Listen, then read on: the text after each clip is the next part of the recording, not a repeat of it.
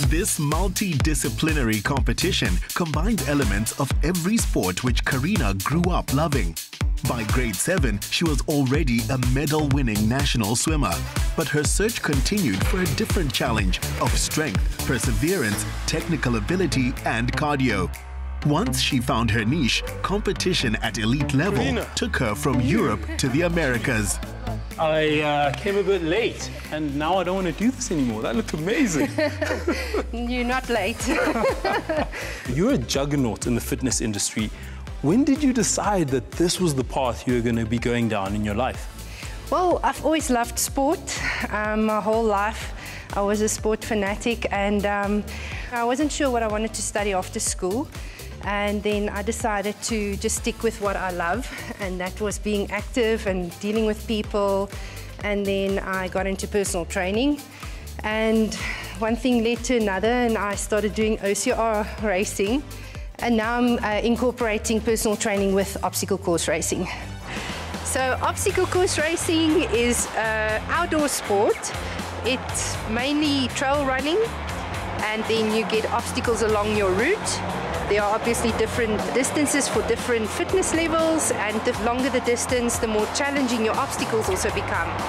You get obstacles that you have to climb over like walls, nets, you have to crawl through mud sometimes, you have to crawl under barbed wire, they can give you heavy carries from oil drums to water cans.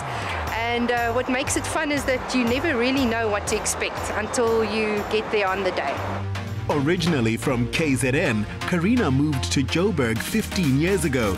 She's balanced her personal training career with international OCR competition. The trifecta in Spain must have been a very tricky one to do.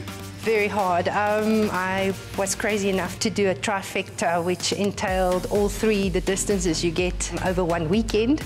But yeah, it was just amazing to push myself that far mentally and physically. Now, Carina's found that CrossFit is another sport in which she's ideally equipped to compete. I feel like tough cookies an understatement when it comes to you. But with 15 years of personal training under your belt, I'm feeling like I'm in some safe hands here to try uh, CrossFit. Yes, you're in the right place. I'm going to introduce you to my coach, Shane. Hey, Shane, how are you doing? Good to meet you. She has such an extensive background in the fitness industry. What is it that makes her unique from the other athletes that I'm sure you've trained? With the amount of, of experience that she's had, she's developed traits and qualities that are unique to a very small percentage of, of athletes worldwide.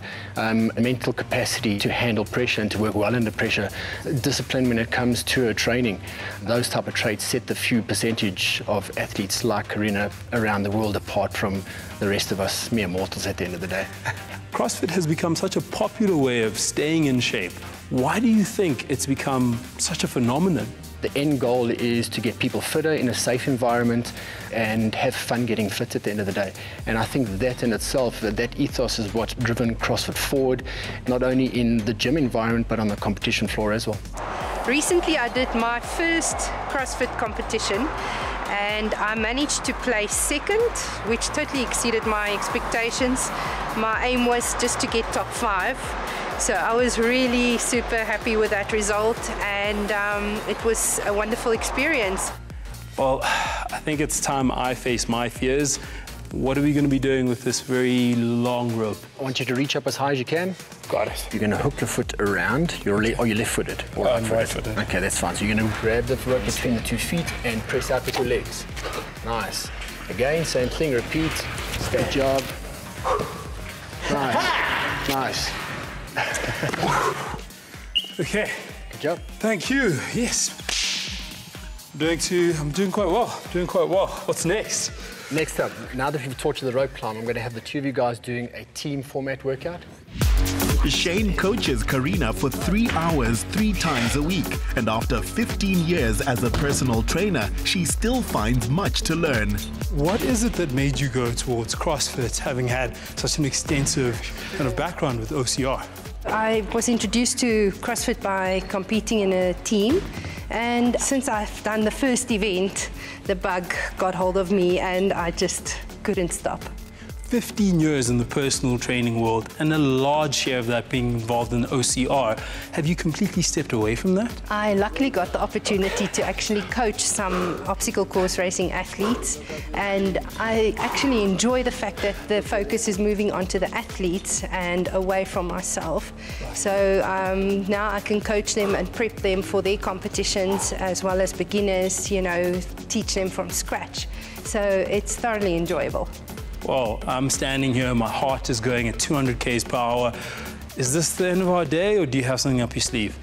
Well, we might have your heart racing at 200 k's per hour, but now we're actually going to do the 200 k's per hour on a bike. A fan of superbike champion Valentino Rossi, Carina's involvement with motorsport began with husband Jeremy Reingold and fellow bikers like Jason Wessels. Jason, I'm an amateur at this, and these monsters look very intimidating. What are the key things I need to know to make sure I make it back here alive? Look, uh, that's a nice thing about the racetrack because it's a safe environment. Everyone's going the same way. Basically, just adhere to the rules and ride within your limits, and um, not too hard on the brakes, not too much on the gas, and slowly build yourself up. Jeremy, how'd you get into superbikes? As a youngster, I always enjoyed the bikes, although it was frowned on by my, my family. However, I can really say that my first car was a motorbike and it, they've been with me through various stages of my life. Okay, that makes perfect sense, but how did both of you get into superbikes together? It's not my only passion. Carina, of course, being one of them. And I introduced Carina to, uh, at, at the, that stage, I owned a, a, particular superbike, which Carina rode on a Sunday. And by the very next week, the bug had bitten her and uh, she had ordered her own. I guess my love for motorbike riding comes from my dad because I went out with him on his bike when I was about six or seven and that's the first memory I have of being on a bike and it was just an unbelievable sense of freedom I had.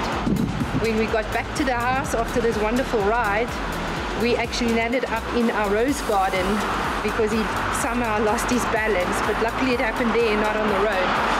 But despite that I just have a wonderful experience with bikes. When she's not out on her bike with Jeremy, she visits her mother, former teacher Mrs. Rena Marx, back home in KZN.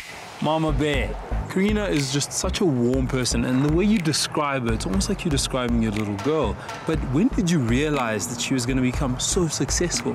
When top billing found her. Clearly, top billing is where you make it. It took a while. No, the people at the CrossFit event in Port Petersburg, they make a big fuss of her, but I thought it was, oh, a small town, you know, and they know that she's doing well. I never realized that she was really doing so well. You like, as the older brother, there's always that kind of idea that you look after your younger sister and you have her back. But Carina seems like a very capable young woman. There's a better chance of her actually helping me out, yes. She's done so much, having competed and having won. What are the things that inspire you about it? It's a tenacity. You know, uh, she would set a goal and she would go for that goal. Like she did with the, with the OCR. I didn't expect something like that to happen in her life, and it happened, and she just went out all out. A lot of people use the excuse of not having the facilities to go out and actually exercise. They're stuck at home. What are your top tips for people who say that? There are so many exercises you can do without equipment and um, I would encourage people to go and Google or look on Instagram. There are many, many amazing hashtags to follow.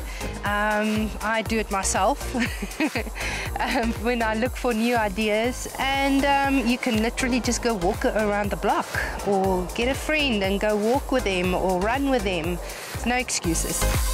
From here, the goal is to get to the CrossFit Games, and once she makes it, we expect a podium finish.